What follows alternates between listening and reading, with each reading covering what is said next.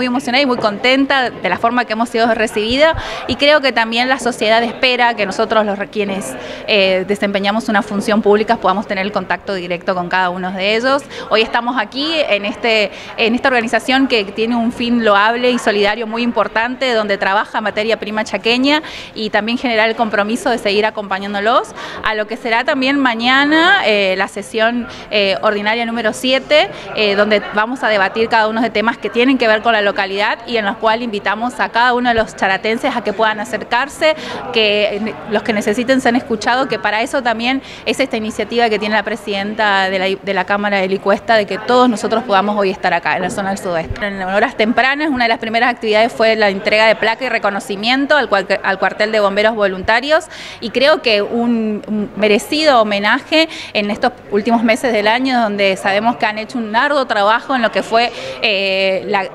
los incendios que se han producido en la zona de Corrientes y donde ellos tuvieron un rol muy importante, donde también se vuelve a destacar la solidaridad y creo que entregarle este reconocimiento implica también una forma de reconocer a cada uno de estos grandes héroes.